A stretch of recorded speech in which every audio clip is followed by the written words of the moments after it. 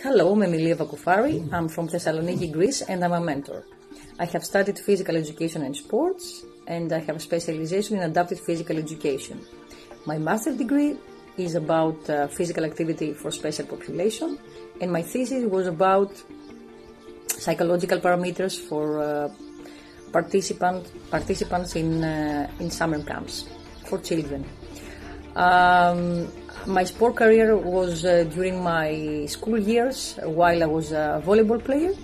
And again, uh, I had a dual career during my studies uh, while I was a handball player in a high level team.